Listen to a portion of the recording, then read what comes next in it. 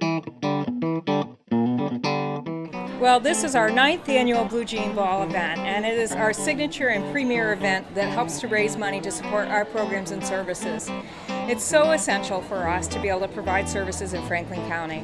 So we're so appreciative of all the community support that we receive, countless volunteer hours helping us to uh, solicit auction items, uh, put together auction uh, baskets, sell tickets, and it all goes back into the community to make sure that we can provide the medically necessary services that we're so well known for.